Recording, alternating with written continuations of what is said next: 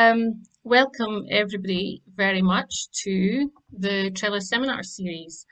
Um, this is the second session of the week. So we had uh, Dr. Bila from India this morning and that was fascinating.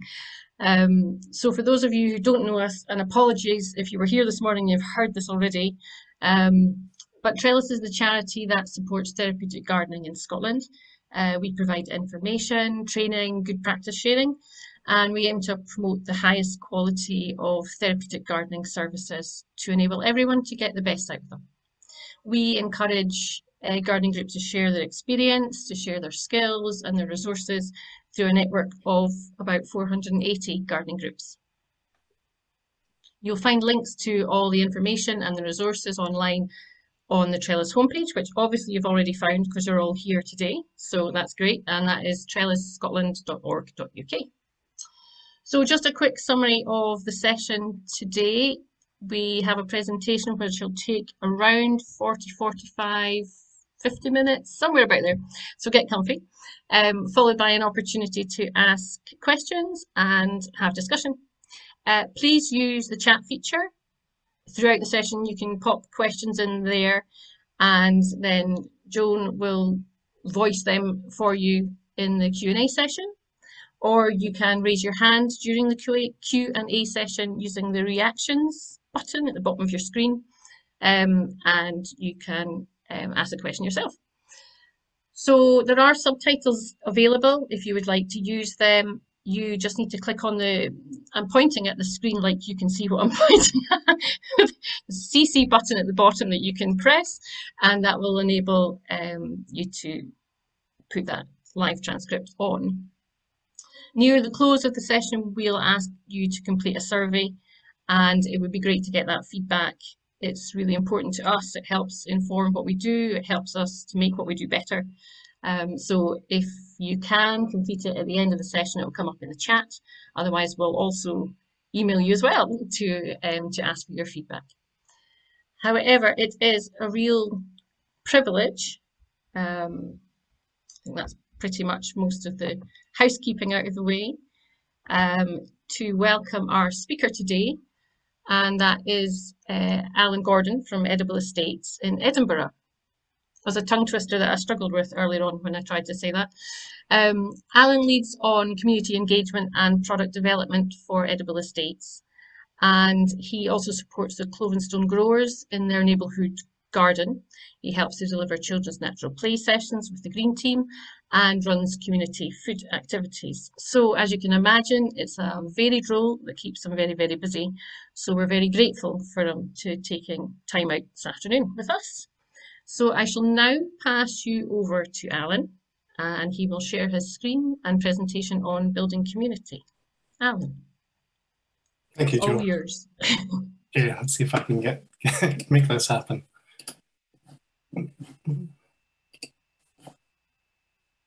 Okay, so yeah, so it's really great to be here this afternoon. Uh, this is a fairly new experience for me, presenting to this many people online.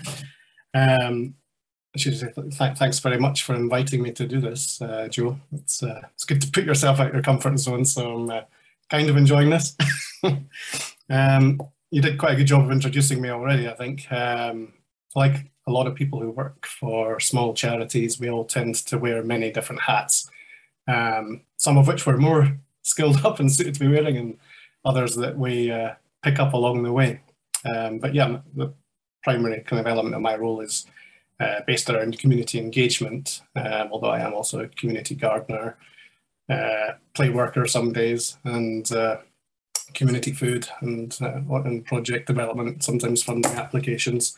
So yeah, very varied role. Um, I like the challenge, I like the variety. Um, it's kind of what, what attracts me to a lot of it. Doing all the things I, I like and uh, love doing anyway. So often it uh, doesn't feel like work, and sometimes, in fact, it's quite hard to separate uh, what is all the things I do for fun uh, from my work. Um, that's a good place to be, uh, I think. Um, so yeah, I work for Edible Estates. Uh, specifically, I work for Southwest Edible Estates, which is um, based in the southwest of Edinburgh. Um, we, I think all, all, of our main projects are actually within within Wester Hailes, which is um, part of the southwest of Edinburgh. Um, so Edible Estates was initially set up by the director, uh, Greg Robertson. Um, he's, he's been creating community gardens across Edinburgh for, I think now on about uh, a couple of decades now. Um, and the one that you can see in front of you on screen, hopefully, is uh, the, the, the, most recent one we've built and the one that I'm going to be basing my chat around today, which is the, the and Hailesland Community Garden uh, in Wester Hailes. Um, so Edible Estates exists as a, it's a kind of partnership of several organisations, Southwest Edible Estates of which is one. Um, and we work together to promote community food growing and the approach that we take is particularly well suited to housing estates, um, particularly social housing estates. Um, and we use food growing as a, a tool for urban regeneration, um, promoting individual health and well-being and community cohesion. Um, so I'm going to touch on kind of how we get from nothing to kind of what you can see in front of you at the moment. In some ways, it's still developing. Um, that big bit of grass you can see in front of the shed there is currently being transformed into a polytunnel, and some of the other bits have been filled in a wee bit as well since this was taken just towards the end of uh, last year. So it's an ongoing project as well um, that we're, we're, sort of seeing in real time here at the moment. Um, so uh, a little, little bit of background, just uh, mindful that some of the people watching might might not even know Edinburgh, never mind Wester Hailes, but uh, Wester Hailes is a, sits within the southwest um, locality of Edinburgh. What you can see on the screen there is it's uh, roughly seven different kind of neighbour neighbourhoods or, or kind of social housing schemes that comprise Wester Hailes, um, and, they, and they, they all kind of um, are linked by the, the local centre there, uh, which some people would think of as the town centre, which is basically a shopping centre, which is leased out privately. Uh, it's owned, the, the, land and everything is owned by City of Edinburgh Council, but it's on a, a long lease to uh, a private entity. Um, and much of that is car parking as well. So, um, yeah, what else would we say about that? So, you know, Wester Hailes has, I think, approximately 10,000 households. Um, it's just celebrated its 50th anniversary. None of this existed 50 years ago.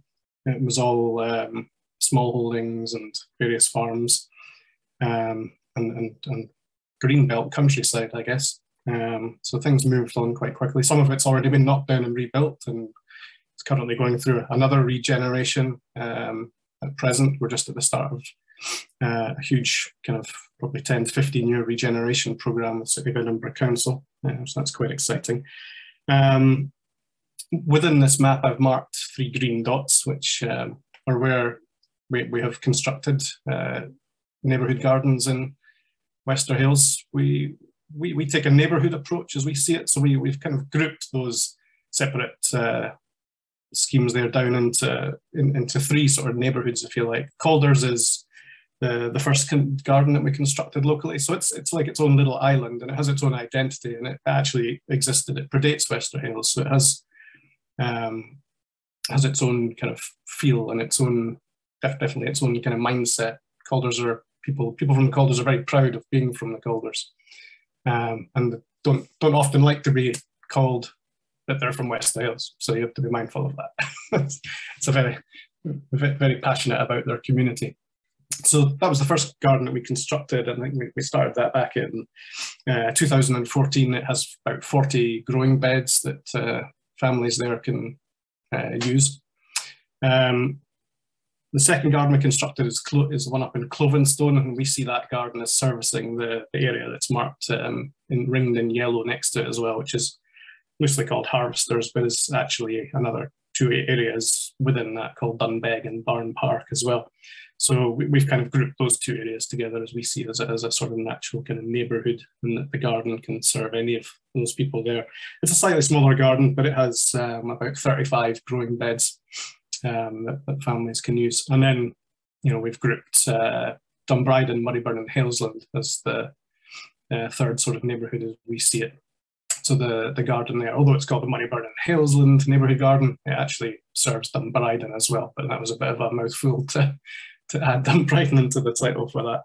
Um, that, that. That's the biggest garden out of the three of them, and I think, I think has approximately 50 growing spaces, but that may have increased with some of the building that's gone on over the last couple of months. Um, and that's yeah, and then new polytunnel going in as well. So that's kind of where we've got to. We're not going to build any more neighbourhood gardens in Wester Hailes. We, we, we feel that uh, we've reached capacity. Westburn, just for your information, um, that's where Whale Arts are also based.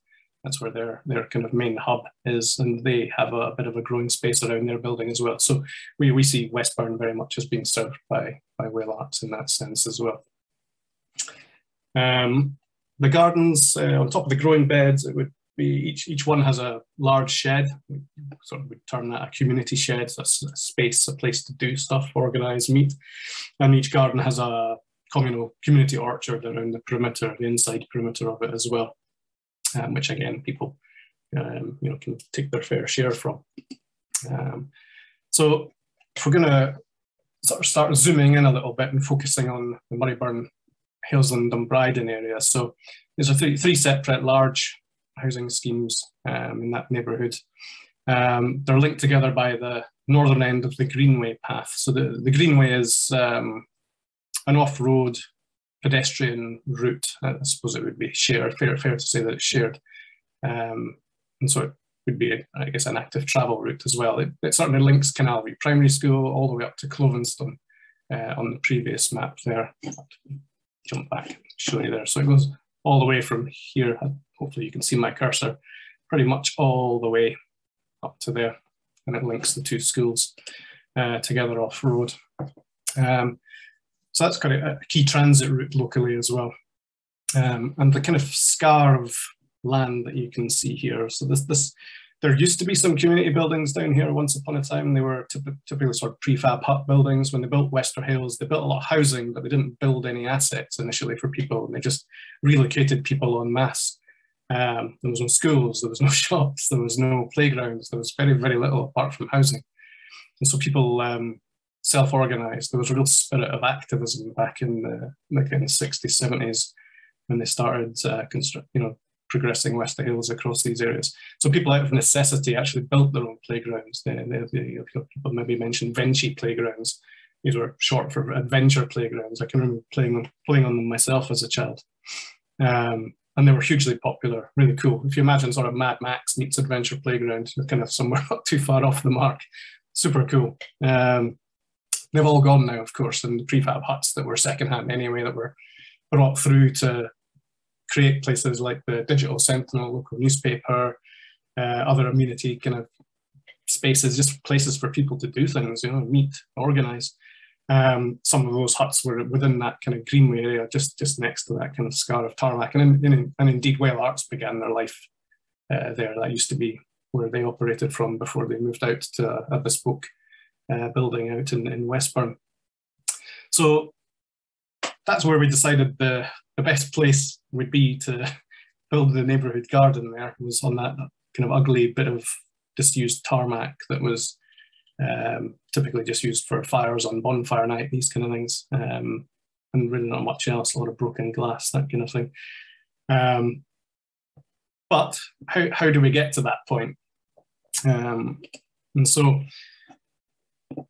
there's a slightly different view of the Greenway, so looking kind of up towards uh, centre of Wester Hailes from here, but you can get a better idea of the, the bit of ground that uh, was identified as being a, a good candidate for progressing the neighbourhood garden. Um,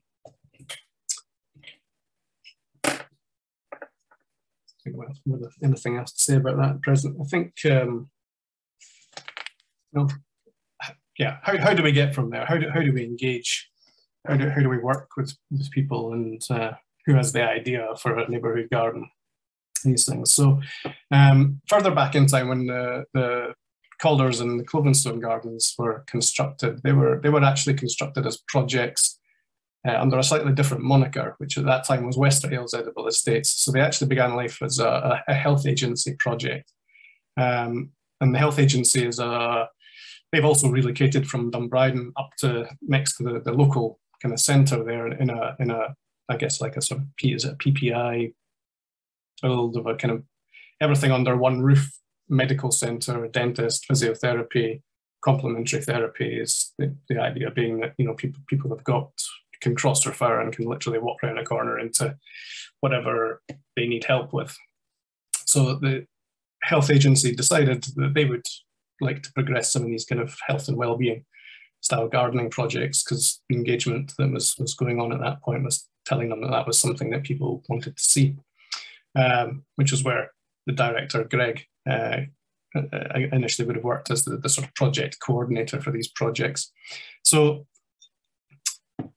things picked up momentum and uh, around about would have been 2006 2017ish i think it was decided that it needed to become its own thing and uh, southwest edible estates came into being at that point um, as a as a scheme as, its own separate uh, uh, thing. So two two tier scheme with a with a board of trustees comprised of local folk from um, the, you know from around three local um, gardens that we've constructed there now.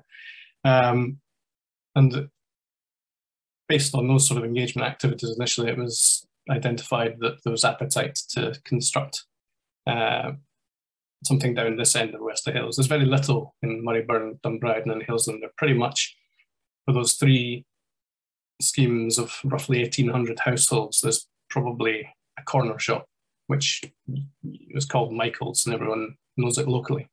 Um, that's quite quite mad when you think about it. The population that size has one tiny little shop um, available to them.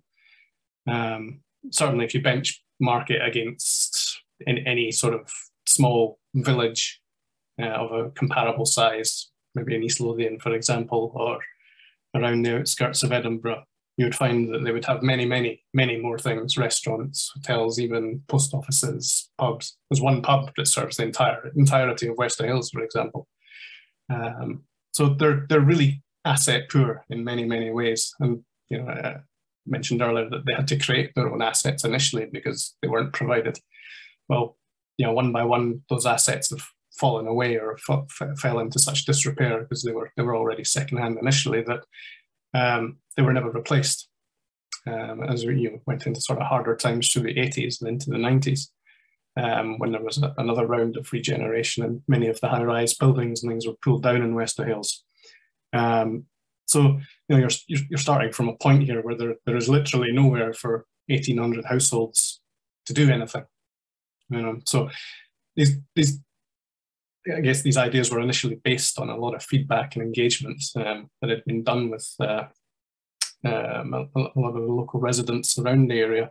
So as, as Southwest Edible Estates came into being, they also employed a, a development officer, um, a lady called Stacey, who, who, still works in the area. She actually runs Tasting Change uh, project for the health agency now. Um, so she did a lot of work, um, particularly in the area. let's move forward the screen. So one of one of the things that she she kind of got going was the the wee soup garden. So this was a a little disused pocket of uh, space within the the Hailesland community.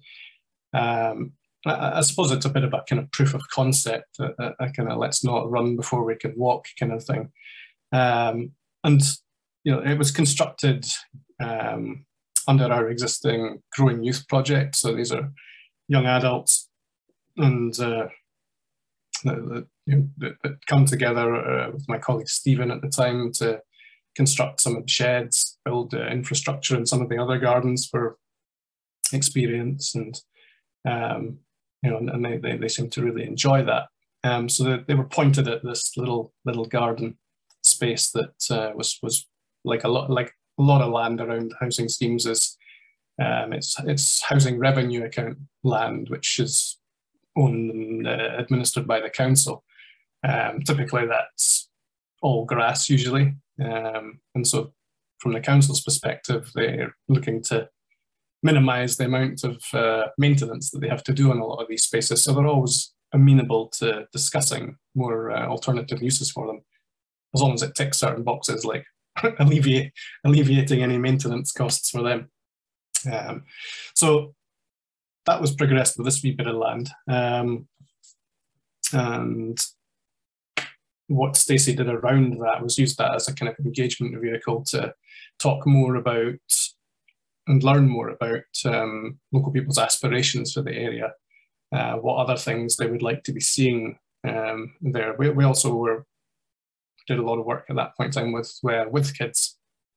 We're a, a, a separate sort of children's um, organisation that work very intensively with local families to uh, work through all sorts of issues, counselling and support. Um, and so they they had good relationships with a lot of the, the, young folk and other families as well. So between the two of us, we did quite a lot of engagement at that point, um, le learning about more about uh, things locally there. So you know, the sorts of things we do a lot of uh, in advance of any project. There's a lot of door knocking. We go we go and knock on everyone's doors locally, um, especially all the ones around any potential site to to really understand um, build up a picture of what, what happens there already, what uh, hopes, fears people have, uh, concerns, um, and, and, just kind of you know build up that picture, really learn about the area.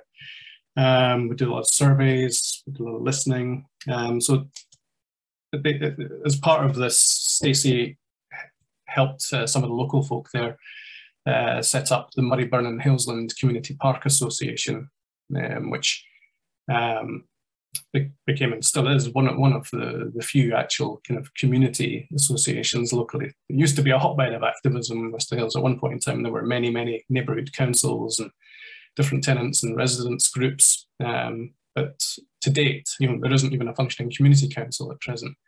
Um, you're down to the Calders Residents Association, pretty much in the Calders area, uh, the Murrayburn Hailesland Community Park Association, and I suppose you could include the garden associations, maybe at Clovenstone and Calders as well uh, in that. But other than that, there is no statutory vehicle that the council needs to communicate with for anything, such as the community council. So um, you'll, you'll typically hear from many people in, in places like Wester Hailes that stuff just gets done to them. and they don't get engaged with, they don't get asked. So um, because much of the land is either housing revenue account land or parks administered, um, then you tend to find the, local housing officers then make a lot of decisions about what's going to happen to that land. And so um, a lot of these little spaces like the one we can see on screen at the moment, um, the council, particularly locally in Wester Hailes, have over the last decade uh, spent quite a lot of time resin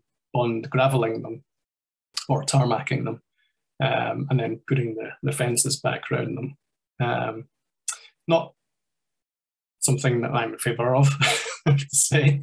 Um, I suppose you could imagine it as kind of unadapting your environment for climate change, if you imagine it that way. In my head, that's what they've been doing. Um, whereas we've just discovered as part of the regeneration work that's uh, about to be progressed, they're actually going to start having to look at sustainable urban drainage systems. Um, so yeah, we probably wasted a decade tarmacking a lot of useful rain absorbing sort of spaces. Um, anyway, that said, so we, we, we got to the point where they, they, they created this garden.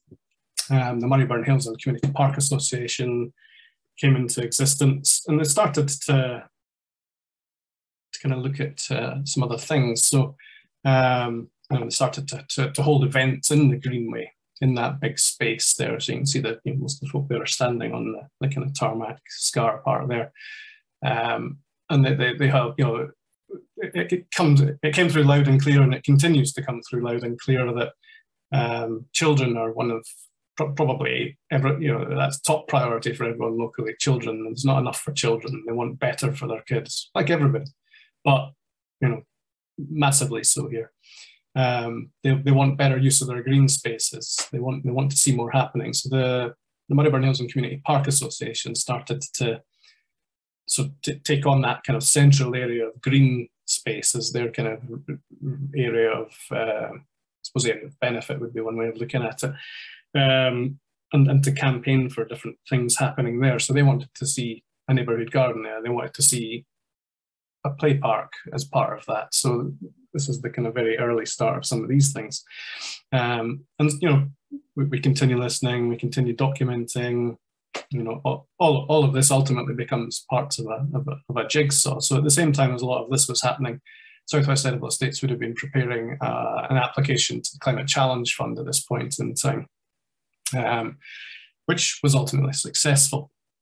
Um, so, so the next one, yeah. So whilst we're also doing that, you know, the fact that there was nothing for a lot of kids to do locally um, seemed quite mad. There, there, there are a few little uh, pocket play parks here and there. They're very, very bad disrepair. Some of them have actually been, this, they sort of still exist notionally, but they've, they're, they're no longer maintained by the council um, and, are, and will be removed um, ultimately. So with kids and ourselves and uh, local people decided to take matters into our own hands and do a bit of provocation and uh, bought uh, all the correct ropes and things that uh, you would need to build some swings, um, make some wee gang huts and that kind of stuff.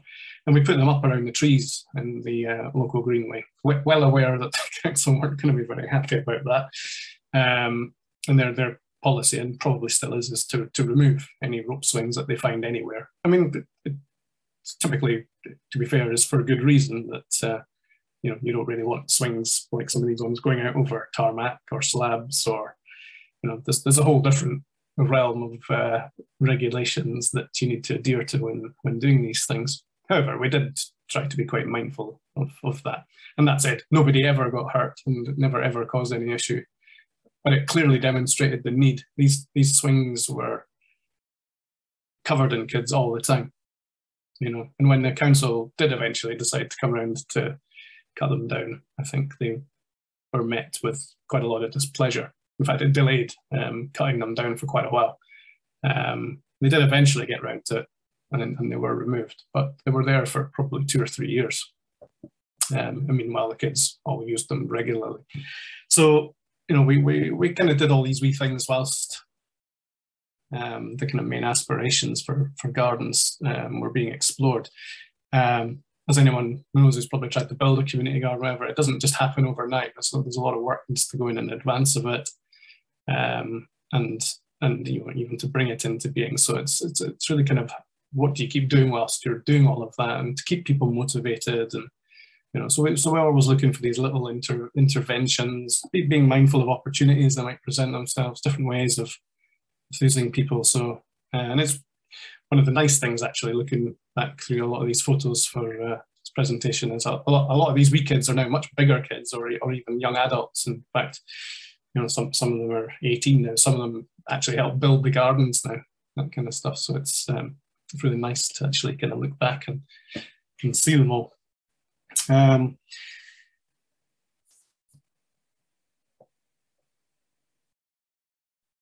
yeah, so our application to Climate Challenge Fund was, was approved. So it was a one-year funded project. Um, I think in retrospect, it should have been a two-year one. it was uh, the first thing that the um, funding officer asked me when uh, when she started in the roles. Why did you only apply for one year? And turned out that was because they told us to. Um, but she said, no, for that sort of project really should do two years, which was we agreed. it's uh, one year. There's also, also a, common bit of feedback is that the, the, funding cycle doesn't particularly align very well with the growing cycle uh, when you're doing community growing. So if you're getting funded in April, whenever to start your project, um, if you're going to build a community garden, you're probably not going to be growing anything until the winter, uh, typically, uh, which is not the greatest time of the year to start growing. And then if you're on a one-year project, you're pretty much finishing up in the following spring. Um, so that presented its own challenges. Um, so our, our, sort of starter for 10 really was we, we need a, a project space um, or a house um, or whatever you want to call it uh, to, to do things whilst we build the garden, to store materials, to uh, shelter in the, the, the, the, worst weather. Um, so the, the first thing we did was dropped a container on this big slabbed area that's outside of the, the neighbourhood garden. Um, and my colleague Wayne there, you can just see in the, uh, the top photo there, uh, poking into that. Wayne began as a community grower in the Clovenstone garden actually, um, and then went on to uh, join as an actual employee of uh, Southwest Edible Estates. And uh, Wayne actually now heads up our Growing Youth project, uh, leading the, the, the, young people in actually doing things like this, fabricating, uh, fitting out containers and building the sheds and stuff. So um, he's a great guy. He's got a really, really deep voice, proper Johnny Cash deep. you wouldn't think it to look at him, but he does. Yeah, he's a, he's a re really good guy. Um, so yeah, myself and Wayne set about fitting out this container at that point in time and uh, getting getting it ready. Uh, we covered it with blackboard paint so that the, the, kids could decorate it and do whatever they want. The, the very first people that will engage with you whenever you turn up anywhere to do a project of this ilk are the children. Um, and we learned very quickly uh, from the other gardens that it's far better to work proactively with children um, because they will engage with you whether you like it or not. if, you don't engage with them positively, you'll you'll very quickly find things flying past your head or uh, them just kind of uh, making their own amusement and the fun. So it's a good strategy to always work with the children. Um, and, and with the children, you know, they bring interest from their parents as well and neighbors. And, you know, it's, it's a very good way of actually kind of engaging locally. Um, is, is, is by working with local young children and the youths. It's uh, it's time well spent, in, in my opinion. And like I say, you know, the oh, can't see my pen. Uh, this this chap here, who's probably was about 14 then, whatever. He's 18 now, so he's he's now actually working with Wayne and uh, fitting out a lot of these things and stuff like that. So yeah, he's a, an amazing young guy. The very first day I pitched up there, he was like, "Who are you? What are you all about? Give me the keys for your container. I'll sort it all out for you." And you're like, well, "Really? okay." And uh, yeah, he did, and, and continued to do so every week. Um, yeah, an, an amazing young guy. You know, so it's really really nice that he's now uh, 18 and actually kind of working with us as well. And I think, yeah, he's got a good future ahead of him. Really good guy. Um, okay, so we got to the point where we're ready to launch the actual kind of let's build a neighborhood garden. It's, it's the start of the project. So you can see the container in the background there. It still hasn't got its blackboard paint on it at this point, but it's uh, it was ready for the, the launch event. So we held a, you know, a big community event.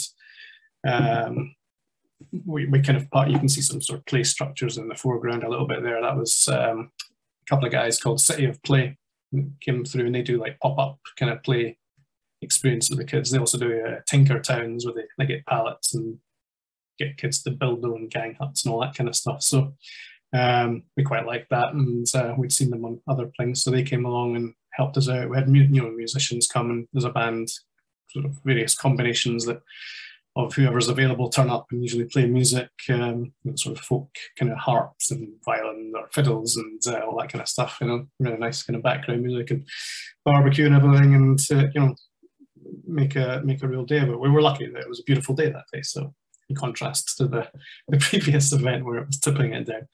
Um, but you know, you can see it was well attended. there's loads and loads of children locally, uh, and there really is very little for them to do.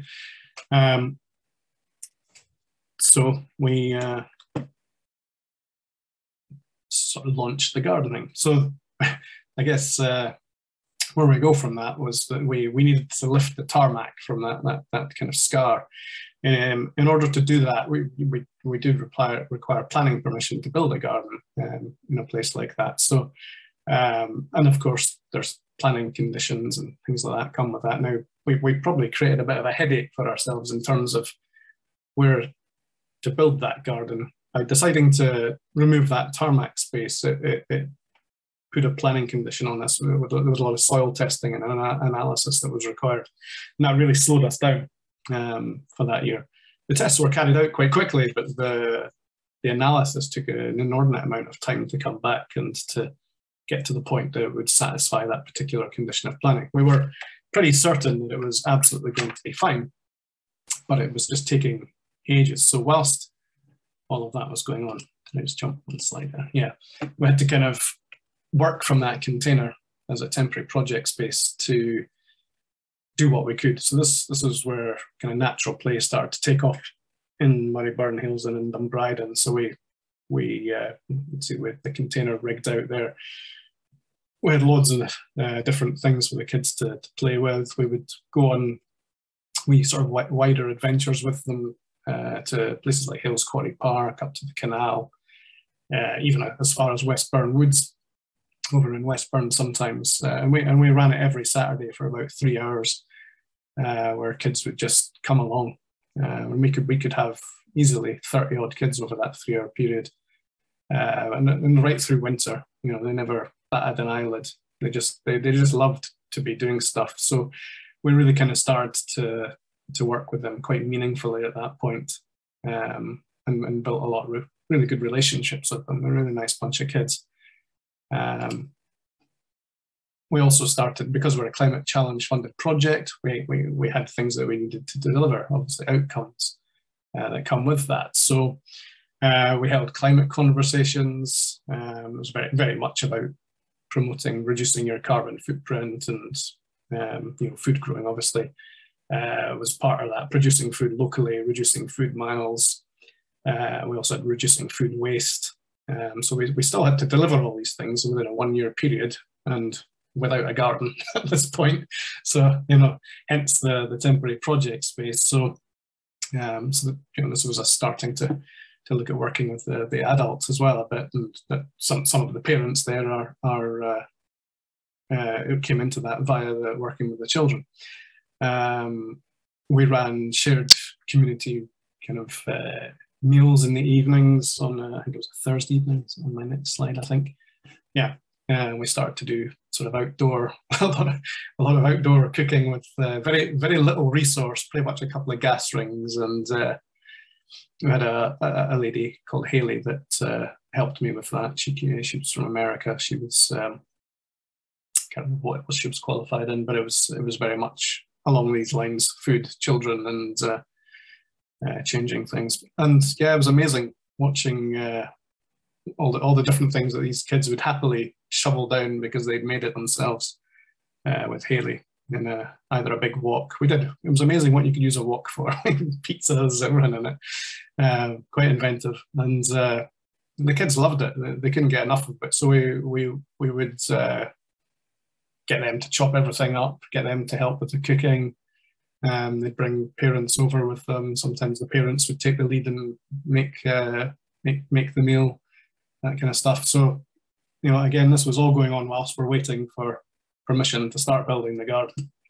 Um, and we eventually decided we just had to kind of get on with it because we weren't sure if the soil analysis were ever going to give us our analysis. And we, we were starting, it was fine. They'd said it's fine, but it just hadn't quite made its way to the council for whatever reason. So um, so at this point, we said, okay, we need to kind of get on with it. So the local housing contractor, I think it was a, sorry, Robert Robertsons, who were building locally at the time, had one of these kind of quid pro quo deals with the council that the, you want to build houses locally, okay, you need to do something good for the community as well. So they came along and lifted the tarmac.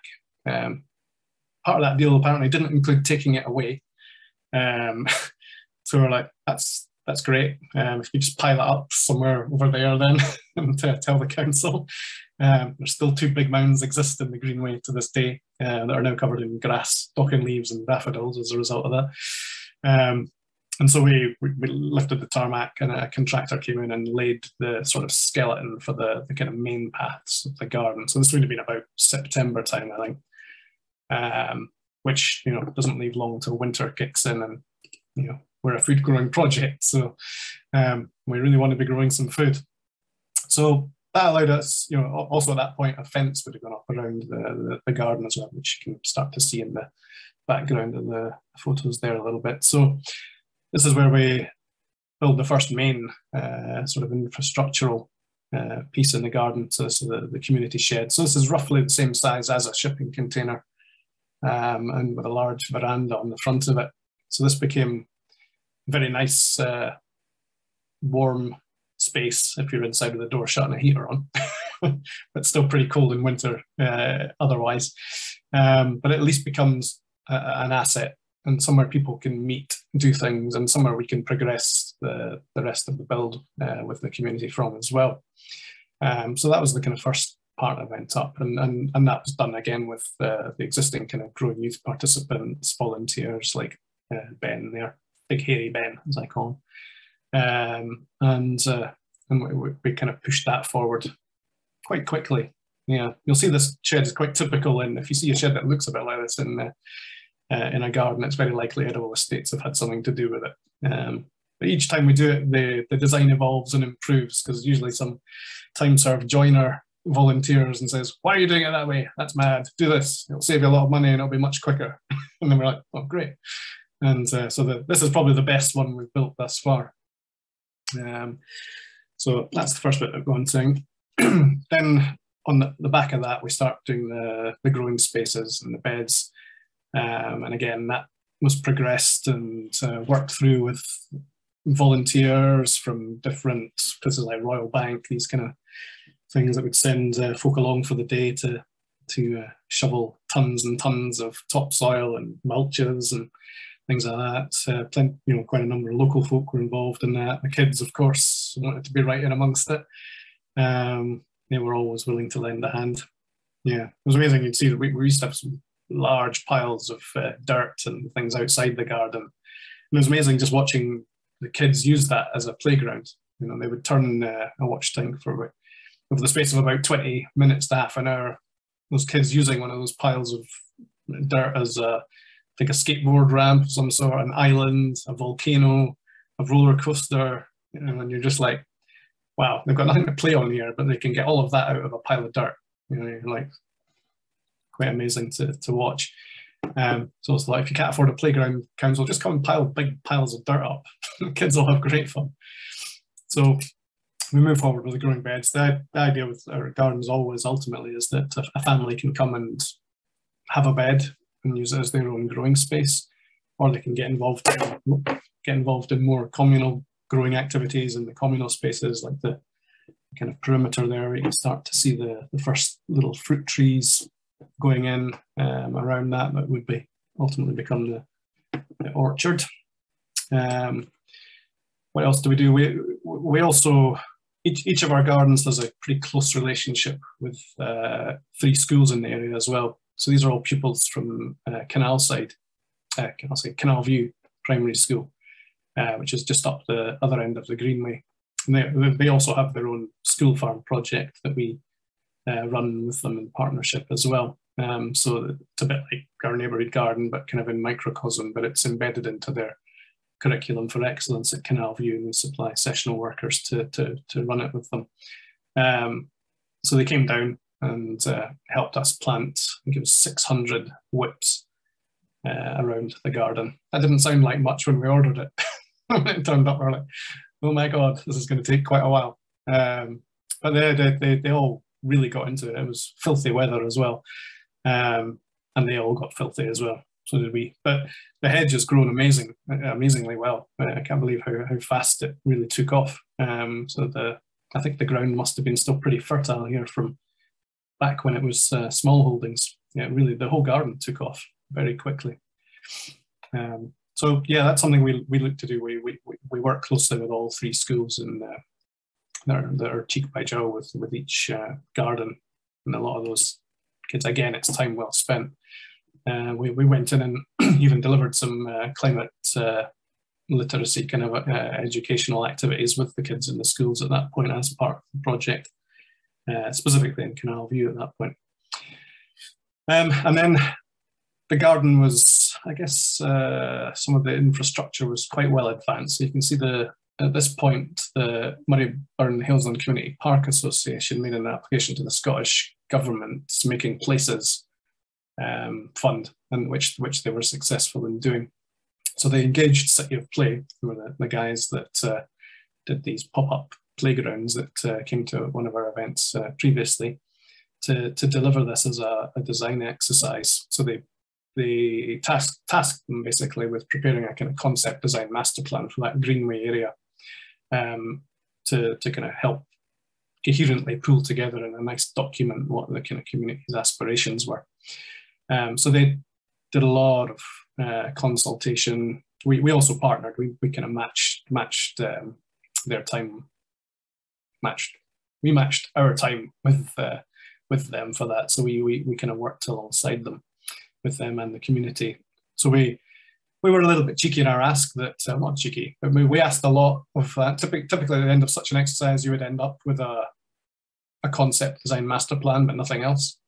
Um, no actual change on the ground, but we incorporated within that the, the ask to co-design and test some play structures and to actually produce some technical drawings as well. So on the, the kind of RIBA, who's a Royal something something architects uh, plan of work schedule, concept design is usually only stage two. Um, then stage three, four, five onwards, start getting into more uh, detailed design, technical design, and you know final designs, and then eventually something happens. So we we we were a bit necky and probably tagged uh, detailed and technical into the, the, concept design phase as well. So the you know the, the kids did a lot of uh, you know they prepared their own signs which they put up on the outside of the, the garden fence about what their hopes and aspirations were, what they'd like to see improve.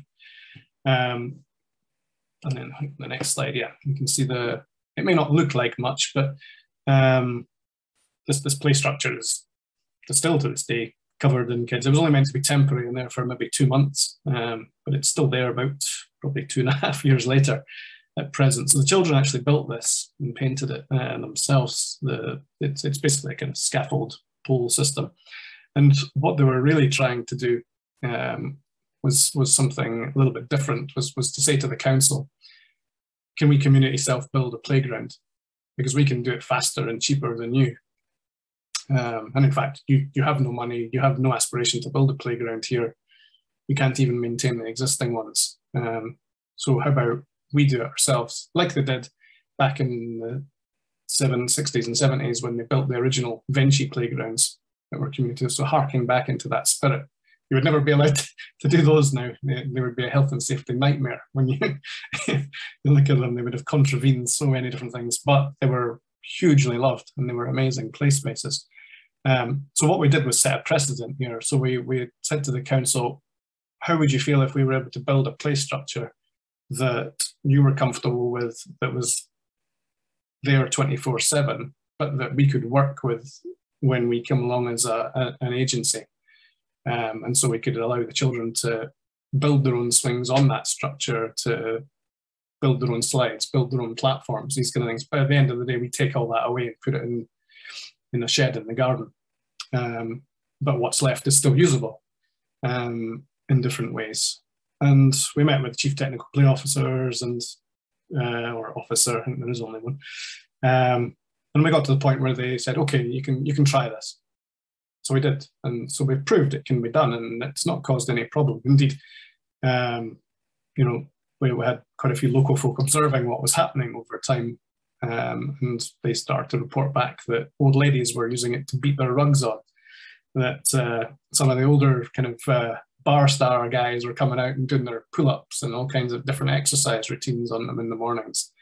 Um, kids were using it. They, they used the central bit as goalposts even. Um, they also, you can see some sort of pink planters in the background there. We also built some benches with them. The, the council's estate strategy had pretty much been to remove all seating because seating equals antisocial behaviour, um, which is true if it's in the wrong place. But we positioned that we just thought their seating wasn't in the right place. Anyway, we didn't have permission to do it, but we did it anyway and built some seats with the children and bolted them to the ground. And actually, immediately, it's we, we saw three old ladies come down and have a barbecue and a glass of wine, which is, someone said, never seen that happen before.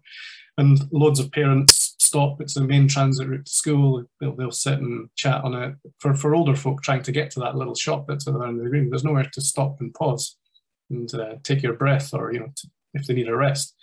You know, so you start to see these little things making a difference. And it didn't cause any problem. It didn't cause any social behavior because we put it in a place that we thought it wasn't going to be an issue.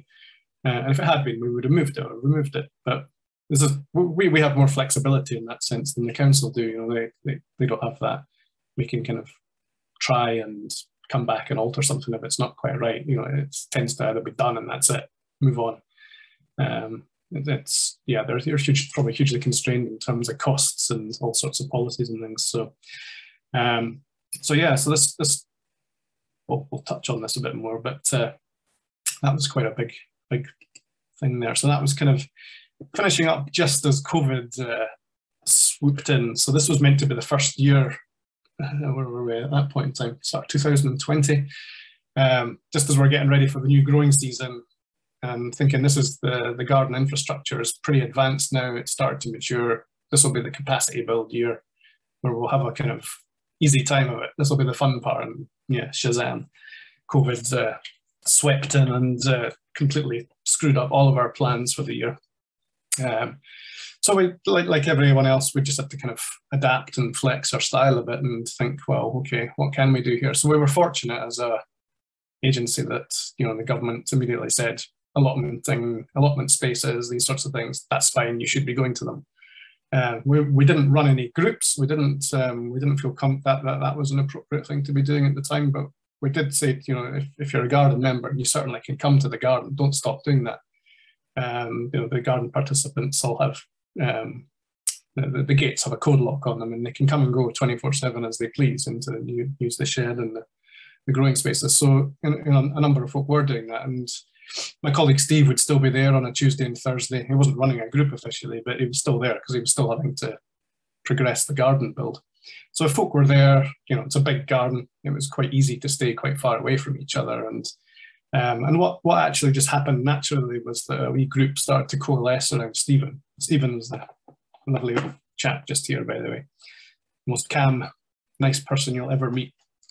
Um, and they, they, all the all the, the folk that work with him there, they, they love hanging out with them. So what what just naturally started to happen was that they they, they started to kind of move more to a kind of communal food growing, I guess, effort at that point. Um, and, uh, and as you can see, they were quite successful with uh, the, the, amount of fruit and veg that they started to, to pump out of the gardens. Now, what happened at that point in time was I was pretty much diverted into uh, emergency food production. Um, the, the first thing that happened in the pandemic was that the council closed the one remaining community centre, which was the Clovenstone one, Gate 55, which is not technically in Wester Hailes, but it's quite close to the perimeter of Wester Hailes, was also closed um, and ultimately became a COVID test centre uh, and still and still is, um, still hasn't been reopened to the public. So we we uh, diverted my energies and a couple of other folks into emergency meal production, which um, we partnered with uh, some other folk up at the health agency and sent out uh, two two course meals uh, twice a week to people that were health agency had on their books that were shielding, uh, uh, Westerhaven, who were you know, doing a lot of kind of cancer support up there as well. A lot of their clients, people who were absolutely terrified of uh, coming into contact with COVID at that point, still are many of them. Um, yeah, just you know, everything just disappeared overnight for a lot of these people. So you know, yeah, I guess um, the, the, local agencies try, tried to kind of step in and fill that breach a little bit.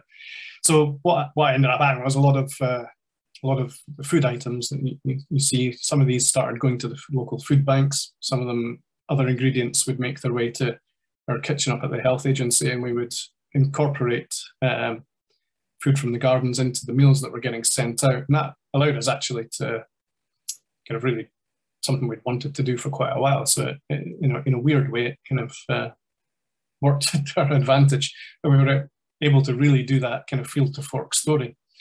Um, and I think because me and Stacey at that point were probably going mad staring at four walls, pretty much just the two of us for about seven months, we started doing a similar idea with uh, the meal end of it as well. And we created uh, uh, Wester Hailes Eats together, um, kind of off the back of that presence, and a, and a Facebook group. And we uh, we we made little videos about how we were making the meals that we were sending out to people. They could ask us questions. They were able to request things. We'd give them a couple of different meal options each week. and Say vote on whatever one you want us to prepare, that sort of stuff. And we were able to keep ourselves sane, but we were also able to kind of continue working with people. Um, and this was this was obviously back when things were really everyone was really full full lockdown mode, so it was it was quite grim for a lot of folk.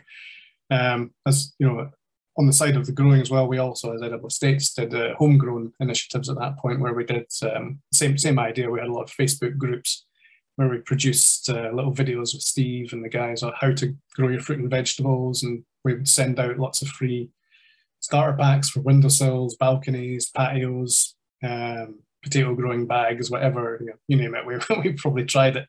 Um, and, and it turned out to be one of those things you're going, why weren't we doing some of this stuff anyway? Um, because they were quite actually effective as engagement tools. Um, you, you very quickly built up face group, Facebook groups with you know 70 to 100 members in them um, interacting you know with you. And so by the time you got back to things relaxing a bit you had quite a good cohort of people to to work with and you know tell more and say well you can now come down and come to a group in the garden that sort of thing. Uh, bring folk in that way. Other projects that weren't as advanced that didn't even have a garden yet actually became quite a good project development tool because you then had exactly the sort of information people the numbers that you would need uh, to supply by way of evidence to funding applications and that. So some of these things we kind of thought these these are really good things. Actually, we should have been doing this sort of stuff anyway. Why weren't we? Um, so we, you know, now now things have relaxed a bit. We've kept some of those ideas and uh, we've we've dropped a few, but we've we've incorporated that in our uh, the way we're doing a lot of stuff now as a as a kind of normal matter of course. Um, and then you know, over, you know, as the pandemic progressed, things did start to relax a bit again. So we were able to, when we felt the time was right, move to shared community picnics again in the garden. So on a Tuesday, um, we had a community chef at this point, which is this chap here, which is a guy called Tona. Um, he he was a really really good chef, and um, he would he would start prepare the basic elements of a meal up in the Healthy Living Centre kitchen, and then bring them down to the garden, and he would assemble them uh, in different ways in the in what's actually a second shed, which was excuse me constructed as a, a natural play shed for the children initially, but we haven't been able to use that for them yet because the pandemic got in the way. So it became a kind of community chef shed in the interim. Um, so the kind of the, the, tail end of the summer, we would come down, we'd have these tagging on to the end of the growing sessions, we'd have a kind of shared again incorporating food from the garden in those meals. and we started to find other people coming down to use the garden space that for, for other engagement activities as well. Uh, we're always very keen to see anybody coming in and using the gardens, other groups. Uh, we had researchers with a, a researcher called May East who uh, came down to quite a number of those meals to talk, uh, particularly with um, the research she was conducting was um, what if women had designed their city or environment, how would it look? You know, would it be different? Would it be, you know, this, this is the kind of research she was progressing. So she was very keen to go for walks with local women and, and to listen to them and their experiences and uh, thoughts about moving through their, their public realm. Um, she's busy, I think, now pulling all of that together. So I'm really excited to see that analysis. I think she also did it in Portobello and I think maybe in Perth, I think but uh, Wester Hailes was one of the other localities that she did. So she, she certainly came to the garden and found that uh, quite amenable uh, to do that. So it was, yeah, it was nice to see these kind of um, aggregation of different activities starting to happen at the same time, which is what we want to see. Um, and of course, Alan, can I just give you a wee five minute or so warning? Just please do, yes. Timing. am I well over already, or am I? Uh... It's good, it's great. So I don't want to stop you, but I'll, just I'll want to, so we've got time for questions as well. No worries. Well, this probably speaks for itself. You know, these guys are uh, a really nice group of folk that come together just as the growers. Um, and yeah, they've been pumping out some amazing produce. They take their fair share as growers, of course. Um, and uh, yeah, they, they make their own juices and cordials, and yeah, some of them are great cooks and things and bake all sorts of lovely stuff to bring along. So you can get an idea. There's a, a sort of aerial shot. We had uh, a drone guy I know just came in and did some drone filming one day when we were there. You can see bits May East down there, you know, doing some research with a group of women. There's other folk just doing all sorts of random things, having a bit of a chat, enjoying the enjoying enjoying being outside after that hard lockdown. Um, so you can get an idea of where the, the garden was at at that point. Like say, this space here now is becoming a, a, a huge polytunnel. These little bits are been filled in with beds, so things are things are progressing well there. So, um, what next? Um, well, as I, as I sort of mentioned uh, earlier, there's a kind of huge regeneration pieces uh, just kicked off across Wester Hailes that's being led by City of Edinburgh Council. Um, probably very much of the ilk that went on uh, um, Craigmillar a uh, decade or so ago. So huge, huge things being looked at. Every, everything really. Uh, where do we fit into all of that? Well, you know, by, by going through these making place design exercises with the Murrayburn Hailesland Community Park Association, etc. When when uh, some of these design teams from the council pitched up, you know, the first thing they were able to do as a community was go, well, here's our concept design of what we like in the Greenway area. Um, make it so. and, uh, so the, the, the, stars have all started to align quite well locally at the moment. Um, things that, that we would, you know, you're quite, you start to come up against the limitations what you can do quite quickly when you're on projects. And it's very obvious hot running water would be a huge advantage to us in terms of community food activities. Um, a, a, toilet would be really helpful.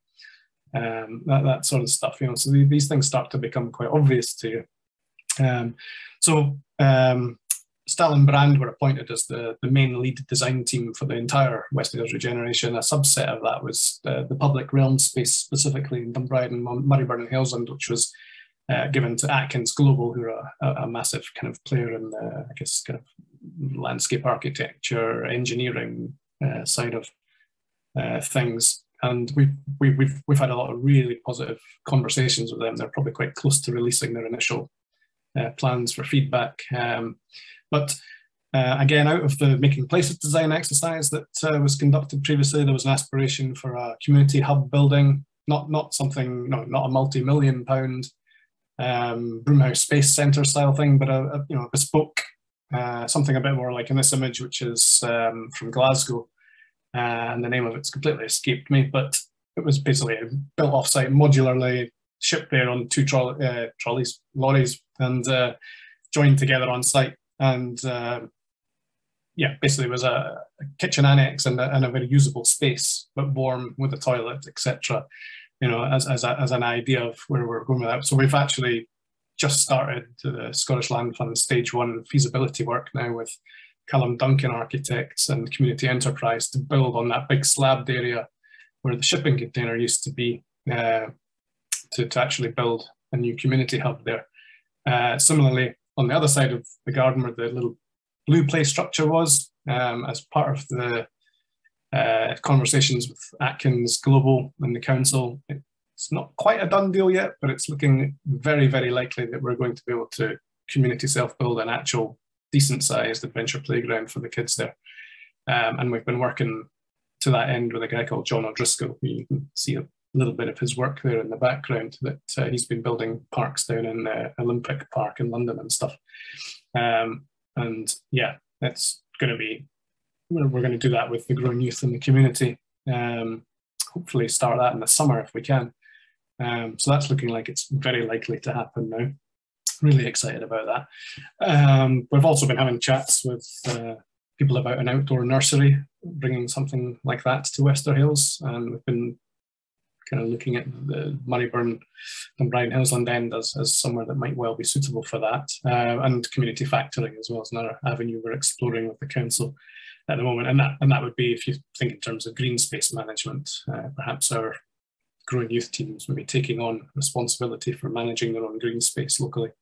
Um, so yeah, a lot, lot of uh, stuff going on. So quite, quite, quite excited about it in the year ahead. Got uh, lots to get our teeth into.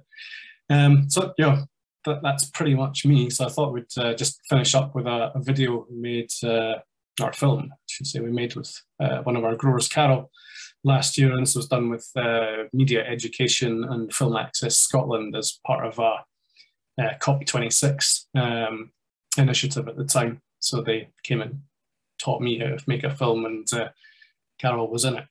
Um, so I thought, um, yeah, sometimes nice to hear from the people who actually are in the garden. Maybe that's a good way to end. So I'll play that one out. Morning, I'm Carol. This is my neighbourhood, Murrayburn Hailesland, near the Murrayburn Hailesland um, neighbourhood garden where I'm off to now if you would like to come and join me. My house is down there, 30 seconds away. And one day I was walking to the shops and saw this being built, came in to ask a few questions and was immediately interested. There was nothing here to begin with. The shed was practically finished, the paths were laid, and now it's full up to the gunnels with uh, fruit and veg, and we've harvested for two years. There was about a handful at the beginning, five of us. There's about 40 or 50 people now that come along to the garden. So I would say that was amazing. to be in this garden. It was just heaven. I work full time and I'm an unpaid carer, and it gets rid of my stress and it's from got uh, mental health issues a wee bit, and I just forget about all that and I go home really fresh and happy and relaxed. It's amazing. So this has worked for me. It's done me a lot of good. And what I would like to see more of is more of these gardens all over Scotland, all over Britain, all over the UK, because I know for a fact, damn truth, that it does you good.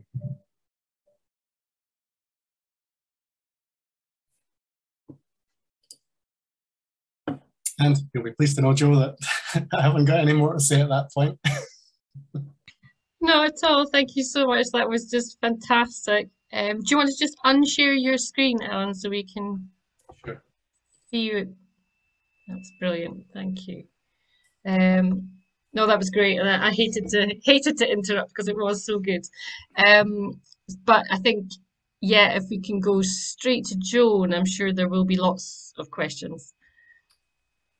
Yes, yes, Joe. Alan, that was brilliant. And yeah, I've got lots of questions, but I'm definitely going to go to the questions that were put into the chat because there was lots of good questions in there. So I'm going to go back to the beginning and just do the questions in kind of order that they came up. Um, so the first one, Alan, how did you get around the one year funding problem from the Climate Change Fund? Mm, um, well, aye, we, we, we did go on to secure subsequent funding. Uh, we've been funded by Investing in Communities for, I think we got three-year funding, uh, which uh, kicked off just as the other one finished, which was uh, fortuitous and a bit a bit squeaky bums at the time, but uh, we got there. Um, and we've actually just been extended um, for another year with Investing in Communities, which is great uh, coming out of the, the pandemic. They, they offered all of the projects they'd funded the opportunity rather rather than go through like a full reapplication mm-hmm. process. You still had to kind of reapply, but it was a bit lighter touch. But it wasn't a given that you would get the extension. But um, but we were very pleased to hear that we have just had that, which is buys us a bit of breathing space. So that's good. Great, well done. That's a um, good news.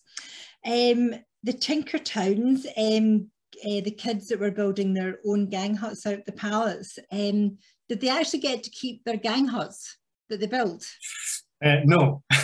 oh, okay. Um, I, I would have let them keep them if it was up to me, but no, I think um, they did. They did the main um, Tinkertown that they did in Wester Hailes, actually up in Canal View Primary School grounds, and they did it over. I think it was a February week or an Easter week, so they ran it for five days in a row.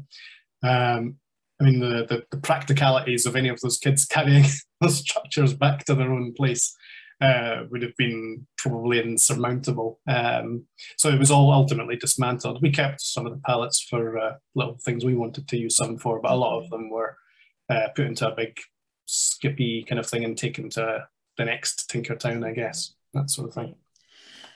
So you mentioned the house, good Scots word. I think you're the other person I've ever heard use the word house. So that's a brilliant description for your container. The who cut open the side of that big container? Did it come? It comes like that. Um, so you can buy them with different um, different styles. So it has that that had two big front opening doors, but it also had two end opening ones yeah. as well. Uh-huh. So you could kind of do whatever you wanted with it, really. Okay. Um, That's a fabulous facility to to kickstart the project. Yeah, they're about to actually refit it again. That's about to reappear uh, near the garden, and our growing youth guys are going to fit it out with a, a more up-to-date, uh, better interior. Uh, they did one similar out for the another group for the Willow Herb Garden group in Wester Hailes, who's uh, had a shed, but it got burnt down during a someone went on a bit of a fire raising spree in the Calders a couple of years ago, torched the tried to torch the school at the same time, oh, and uh, yeah, they put a shipping container back with uh, and you know, our, our team of guys fitted it out for them and it looked really cool. So they're going to do a better job on this one when it comes back again for wherever it ends up ultimately. Great. Okay, so we're now digging up all the tarmac. Um, did you consider building up on top of the tarmac with raised beds? We did. Um, we had different mitigation strategies um, that we kicked back and forth. Our, we were pretty confident that the soil was absolutely fine. So the yeah, we could. I mean, we could have. We could have left them on the. I see. Yeah, sorry. The question. We could have left them on the tar, tarmac rather than lift it totally. But I think it was the right decision to remove it because it was quite grim. Um, vegetables will ultimately grow better in the ground as well than they, you know, than, than they will in planters that are just sat on concrete. They will they will grow, but they just won't grow as well. They'll need a lot more TLC, uh, a lot more attention to, to what's going on in your soil.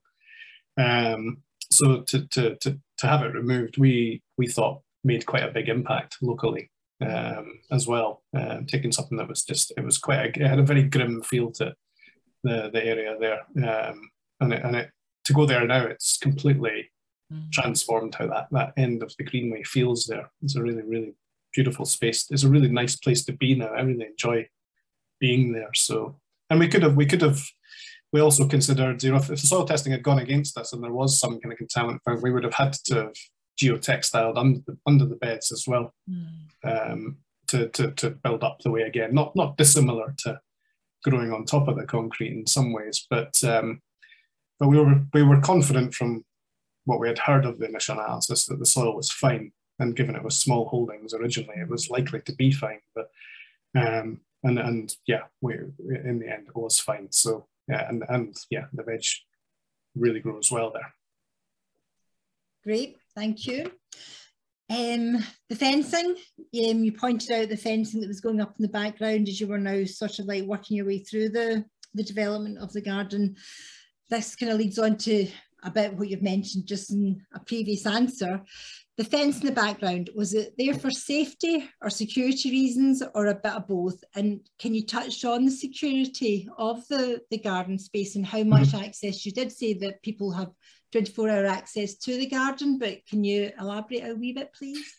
Yes, there's quite quite a lot to consider. I mean, our, our ideal would be to have no fence, um, but you know, you have to match that against what you know some of the, some of the headwinds you're going to face um, as well. Um, yeah, the I mean, a fence is also a barrier, right? It's um, and and it does fulfill it does keep some folk out and it does keep some folk who are inside it safer yeah.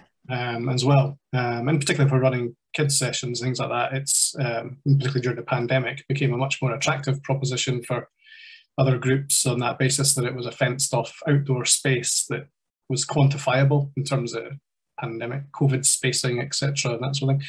And you know, if you if you're in there and you've got the gates shut, you're you know, kids you're working with aren't going to do a runner. Yeah.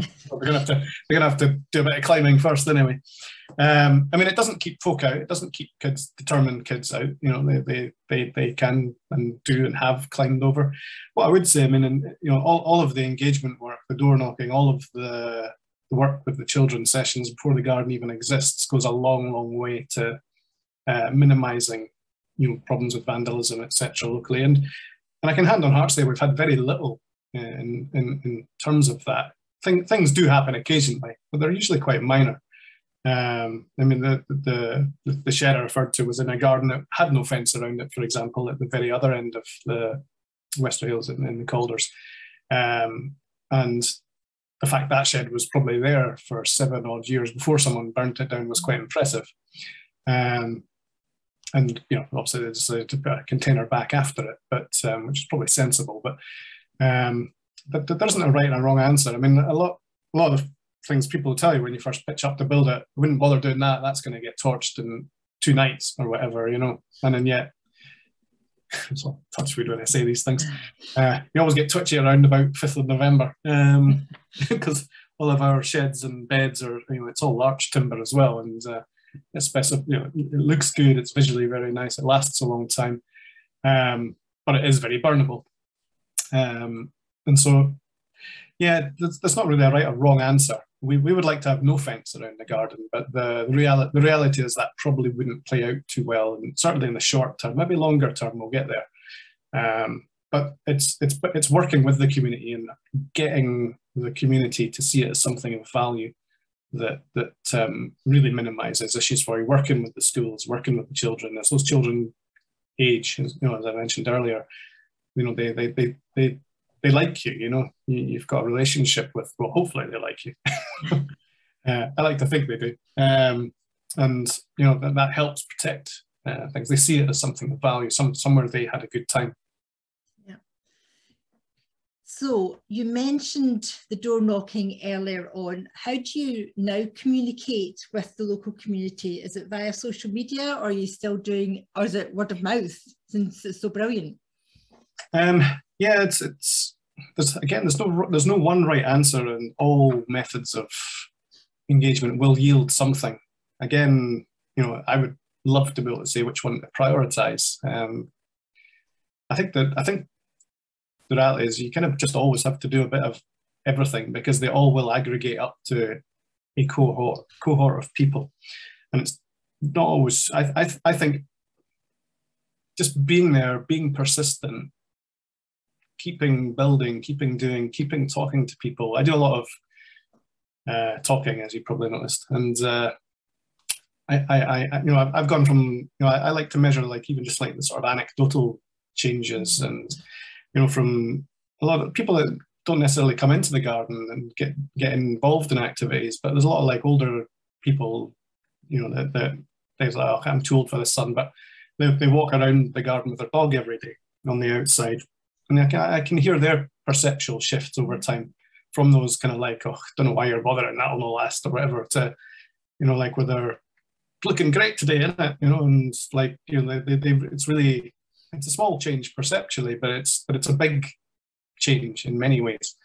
Um, these kind of things. So we, we still door knock, we still leaflet, we still social media. We uh, we recently uh, last year we had a an intern from Inclusion Scotland join joined us to actually handle our uh, social media and newsletter stuff because I was a bit overwhelmed with everything. And uh, she's been kind of we've we've kept her on after the, the internship finished. So Shannon, who's based down in Hawick, if anyone wants uh, someone to do their comms, she's great. She works for us one day a week and uh, do a great job for anyone else.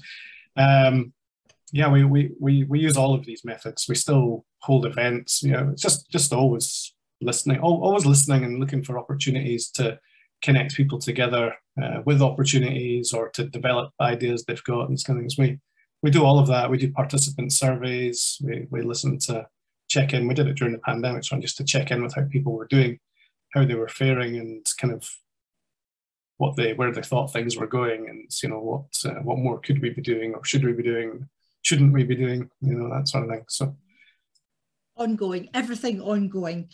Yeah. And which leads on to Jenny's um, observation. She was interested he, to hear that you were still running some of the home growing kits that you had initially started sending out during COVID as a result of COVID, um, but you're still doing them. What else do you continue to do that you started because of COVID? Um, I think the relationships with uh, both food banks locally uh, probably improved more meaningfully in, in that sense. One runs from the Holy Trinity Church, which is down the, the Murrayburn end of things.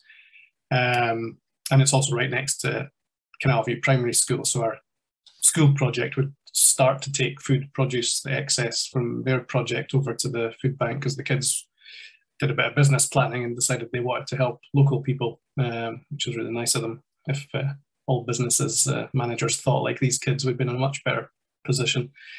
Um, and and you know it was a natural from that when the Murrayburn Garden started to pump out much more that um, it was another logical place to say okay if you'd like some more. They also have a little cafe in there as well. And some of the things could get used in that. Um, similarly in the Calders at the you know the other garden there, which is also in Sighthill Primary School uh, corner of their grounds. Um, there's a it's not a food bank as such, but it's it, it was a kind of community one-stop shop style food bank outreach extension from Broomhouse, I think was one way of looking at it.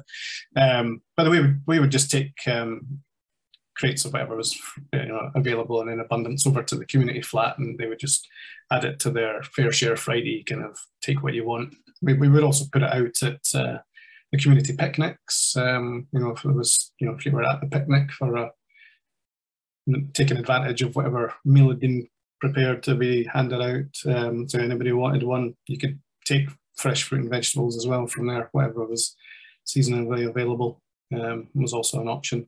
So the, the, those are things that definitely have been good. The, the, the sort of uh, like the, the, film we made with Carol, etc. We did a lot more filming, and we were probably rubbish at it initially. Went from uh, ten minute how to grow carrot videos to uh, when we did that film Access Scotland thing. One of the things that actually attracted me to, but also terrified me, was that the brief was it needs to be a ninety second movie. My giddy aunt, how on earth do you make a 90 second movie?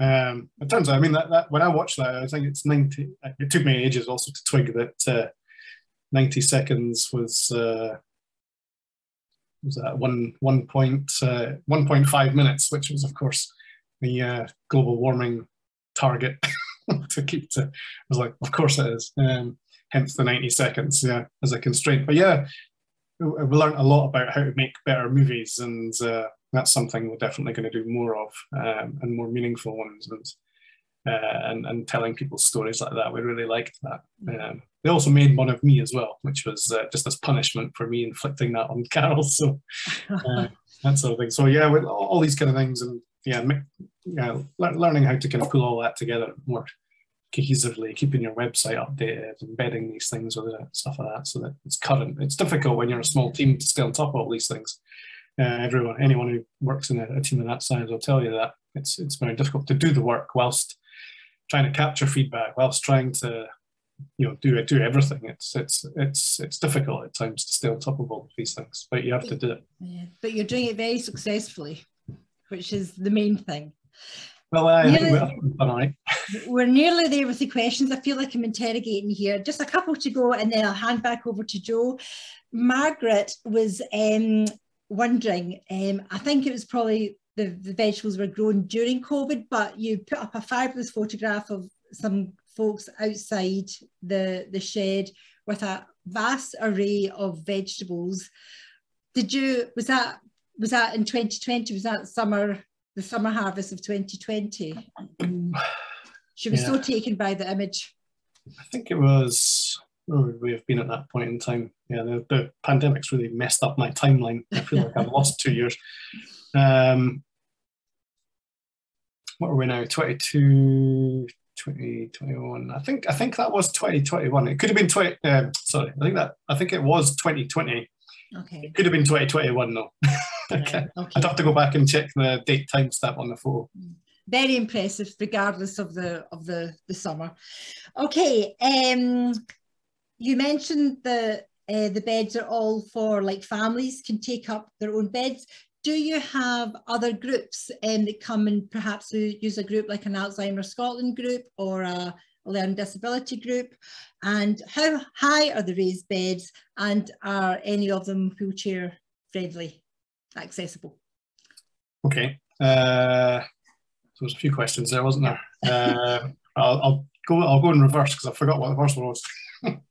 Um, so yes, we do have some wheelchair friendly ones. We have um, we, we, we do have a wheelchair user, uh, or mother and her, her daughter is the, the wheelchair user uh, that come to the garden. She's she's only just about to emerge from isolation because her daughter had so many um, health needs um, and was very very vulnerable. Um, so we we we we do always have some beds anyway, but we specifically made sure we do for her and in fact got her to advise us on heights and ramps and test things and make sure that she was happy with them and that sort of stuff.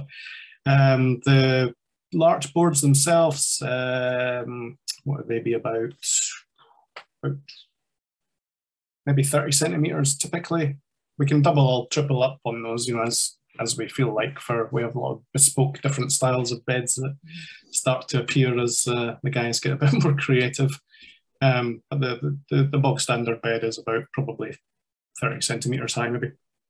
Um, and you'll need to remind me, my poor brain can't remember. Um, do you have other groups joining, uh, like Alzheimer's yes. Scotland or?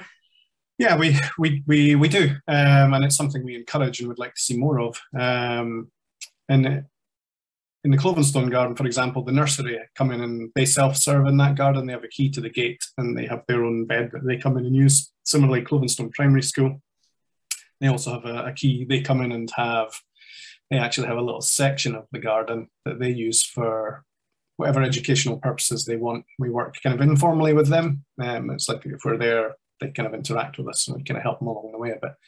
Um, we in the Murrayburn Hailesland Garden, we have we have the assisted supported learning uh, relationship with assisted support ASLS. I can never remember what the final S stands for.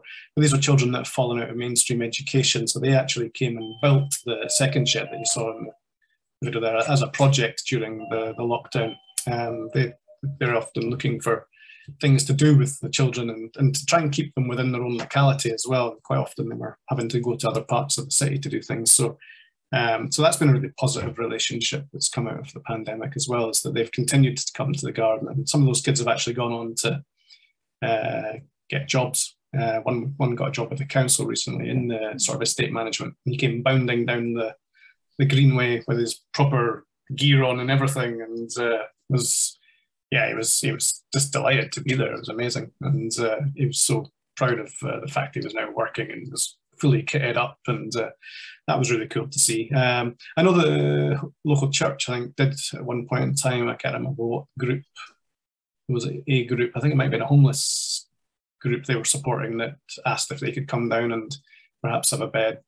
We're 100% happy for them to do that. Uh, it hasn't happened yet, but uh, um, yeah, we're, we're, we're, we're always looking to, we're, we're, we often say to other organisations, okay, if you want to come and use the gardens as a venue for anything, feel free, you know.